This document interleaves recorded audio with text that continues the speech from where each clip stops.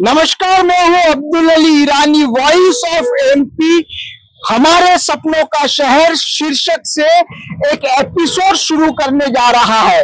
हमारे सपनों का शहर को लेकर यदि आप अपनी कोई राय, प्रतिक्रिया सुझाव देना चाहते हैं तो कॉल करें nine four one four zero four double nine seven five पर।